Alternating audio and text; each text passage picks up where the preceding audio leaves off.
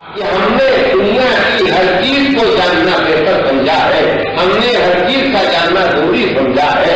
लेकिन अगर हम नहीं जानना चाहते हैं तो दिन को नहीं जानना चाहते हैं, शरीयत को नहीं जानना चाहते हैं। आज हम दुनिया के किसी हिस्से में रहते हैं दुनिया के हर हिस्से की जोग्राफियाई हैसियत मालूम करना चाहते हैं जो हज़ारों साल पहले गुजर गए हैं उनकी हिस्ट्री पढ़ना चाहते हैं ज़मीन के सीधे कितने रात चक्र है साइंस के ज़रिए किले को चीर के हम राज मालूम करना चाहते हैं।